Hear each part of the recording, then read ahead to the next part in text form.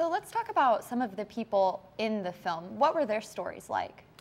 Oh, amazing and beautiful and diverse. Um, I selected the men in the film to have a kind of broad range of stories. Um, some of the men are older, quite a few of them are young.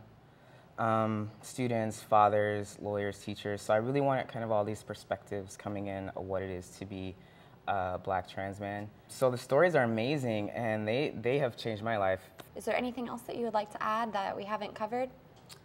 Um, I just really wanted to stress again that the film still remains the only piece that examines black trans men. And like I said before, it would really be nice um, for there to be more films about trans folks of color because that voice is still missing.